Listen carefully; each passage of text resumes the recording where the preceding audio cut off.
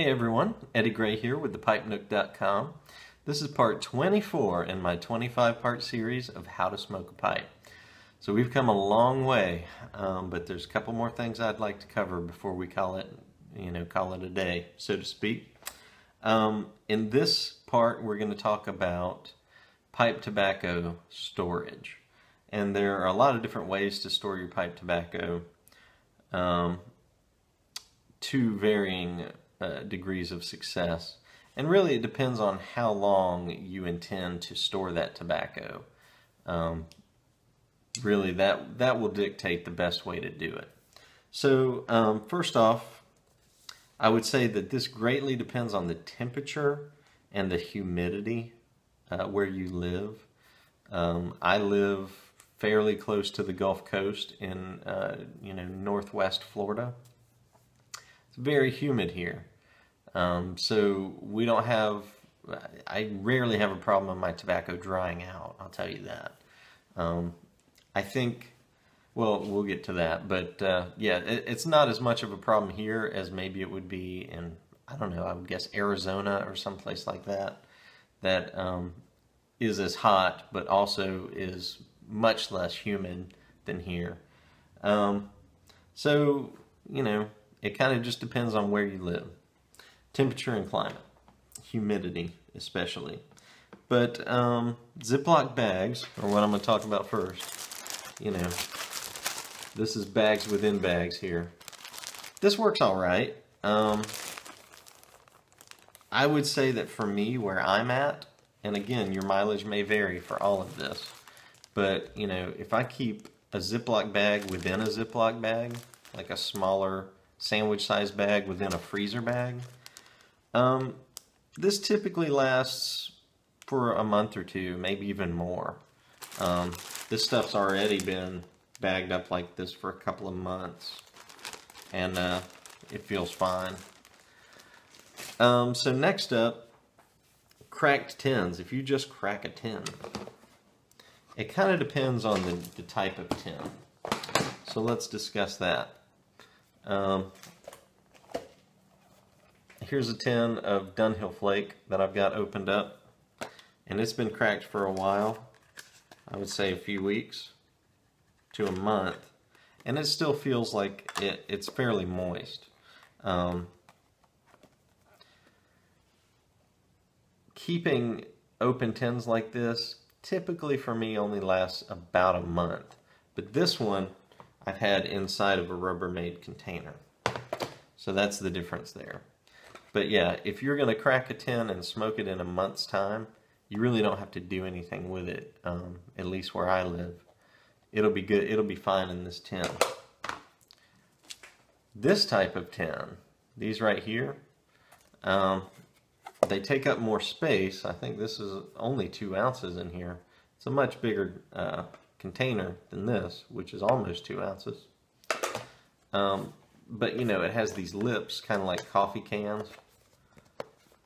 These lips do pretty good in my experience for keeping uh, tobacco, keeping tobacco nice and moist for extended periods of time. Um, this tin I know has been open for close to six months now. So I would say three to six months in a tin like this where I live is fine on its own. Now it started to get a little dry at the four month mark for me, a little dry. So I put it in one of these containers. And uh, so let's talk about these Rubbermaid containers or these types of containers. You know, glass or plastic, you know, snap-on top containers. These do really well. Um, I use these a pretty good bit for like storing samples or, you know, one ounce bulk uh, blends, that kind of thing this does really well. Um, I would say these are good for about a year in my experience. Um, for sometimes maybe even a year to two years if you if you're putting Ziploc bags inside of that kind kind of container. Could be a year to two years. But probably the most common would be mason jars, and there are several different kinds of mason jars. Oh, first let me talk about these. These are little Walmart containers that I got that are kind of pop top, you know. Um, I used to use a I used to use these quite a bit because I got these really cheap at Walmart. I can't remember exactly how much they were. And I liked that they were ease of access. I didn't have to unscrew the cap. Um, but I would say these I would recommend for about a year where I live. Really not much more than that because you, you will notice your tobacco start to dry out. Um, just the standard size mason jar right here. I think this is, what is this, a pint size? And then you have the smaller ones right here. I honestly can't remember uh, what sizes these are. I think this is a pint and I think this is a half pint, but I'm not sure. Um, these um, I tend to use for flakes because, of course, this isn't a flake. but I tend to use this uh, this size for flakes because the flakes will stand up. They're about that size. Um, and you know, I can just kind of turn it on its side and pull a flake out rather than this style mason jar, which has kind of the fluted inward sides. Kind of hard to, to get the flakes out that way. Um, but all of these screw-on cap mason jars, I would recommend these more than anything else for pipe tobacco storage. I have some, um, like this one. This is kind of a tiny mason jar. I use this for coins and things like that. But this is my deluxe navy rolls that I've had aging in here for four years, since 2013. And they're in great shape. They're still in really good shape after four years.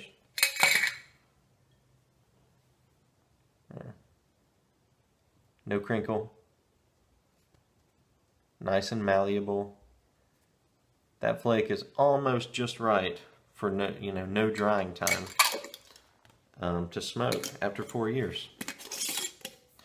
So I would say uh, mason jars are probably good for five to ten years of storage would be my guess. Um, the oldest stuff that I have currently is four years old that I've personally jarred up. But based on what I'm seeing, I would say five to ten years, pretty safe. Um, so I guess that's about it for pipe tobacco storage. Um, we have one more part and we'll be finished in this series. I won't know what to do with myself because it's occupied my time quite a bit this past week. But uh, and then of course I have editing to do. But part 25 will be the end. Y'all stay tuned for that and we'll chat with you later.